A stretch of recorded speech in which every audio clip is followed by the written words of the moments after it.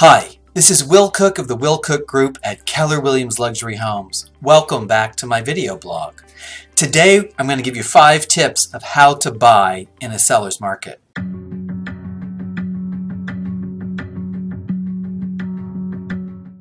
November 1st had the lowest number of homes for sale in the greater Palm Springs area in recent history. And at 3.8 months of sales, we continue to be in a strong seller's market throughout the Coachella Valley. So how do buyers compete? I'm going to share with you five tips on how to buy in a seller's market. The first tip is to be prepared. Do the legwork up front to have your financial house in order so you can write an offer on a property quickly.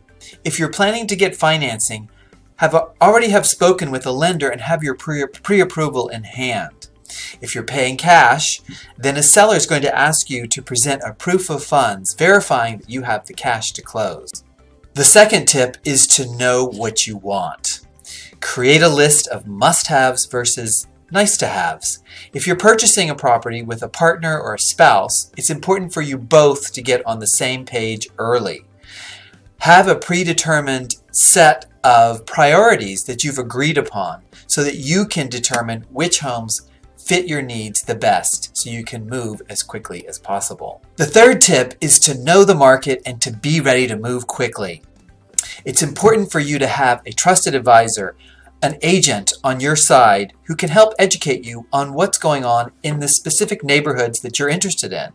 Look at list price to sale price ratios in terms of what things are selling for and how quickly they're moving off the market so that when your dream home comes on, you'll know exactly how you're going to move and you can move quickly because chances are if you're having a wow experience and looking at the house, you're probably not the only one, and your speed to writing an offer may be the thing that secures you in your new dream home.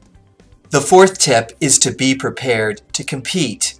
Submit your highest offer early.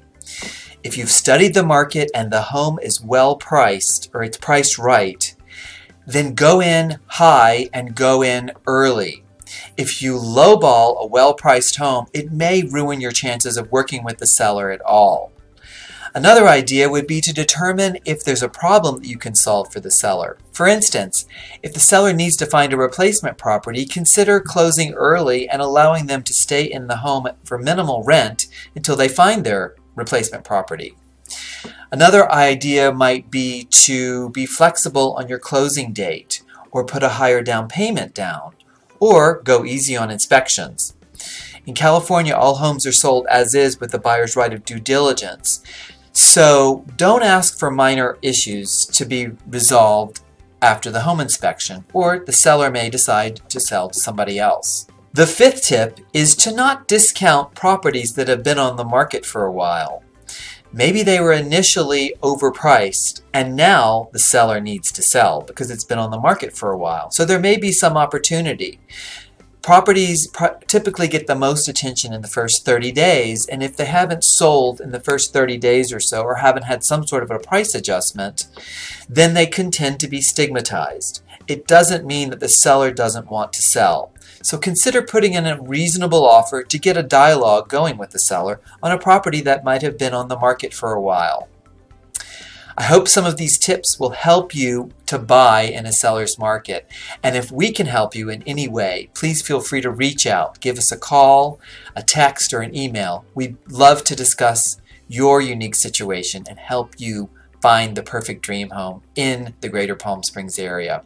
And if you have any other real estate related topics or questions that I can answer, please feel free to reach out to me and I'd be happy to make a video about it.